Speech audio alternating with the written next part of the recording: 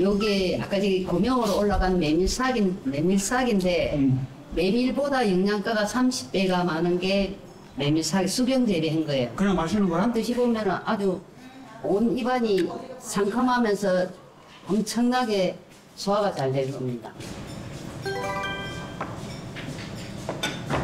어떻게 메밀에서 이런 맛이 나지?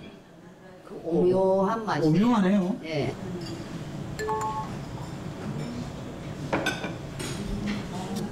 아, 이거 참 맛이 하나네. 여기에 풍기 인삼 맛이 들어가 있어. 야. 왜 그러냐면 이게 메밀싹 있잖아요. 음. 사과 향도 나고 인삼 향도 나고 마 향도 나요. 음. 그래서 이 국수 드실 때도 우리가 우리 음식에는 모든 게 메밀향이 다 들어가 있기 때문에 아삭한 맛이 곁들여지가 그래서 마지막에 후식으로 이게 전부 다 들어가는 거죠. 근데 어쩌다가 이 메밀에 꽂히신 거예요? 저는 생긴 것도 골 때리게 생겼잖아요.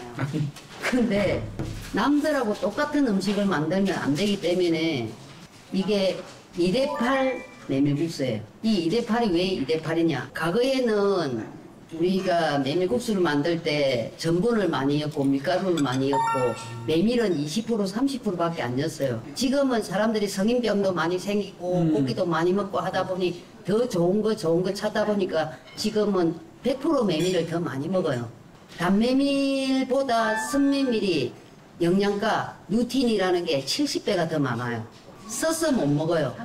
그래서 제가 배합을 잘 만들어 가지고 이 메밀국수인데 이거를 표현해가 많은 사람들한테 많이 먹게 해야 되는데 일주일에 두 번 이상 먹으면 팔팔하게 오래 산다고 해야 되지 않겠나 해가지고 해서 2대8로 이름을 만들어 놓은 거예요.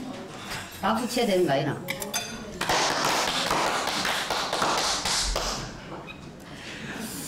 내일 또 와야겠다. 왜 자꾸 더 아직 더 해야 되나?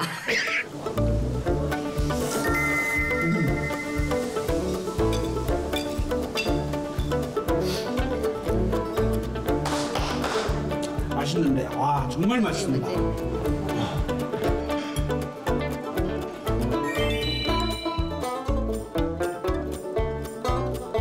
메밀 하나 가지고 이렇게 다양한 음식을 만들 수 있구나 하는 걸 이제 맛보게 되었는데요. 어, 그런데 정말 메밀 주스는 정말 압권이었습니다. 달콤하고 새콤하고 그다음에 그냥 거기에 인삼을 넣지도 않았는데 인삼 맛도 나고 사과를 넣지 않았는데 사과 맛이 나는 그러한 정말 메밀의 다른 모습을 보고 왔어요.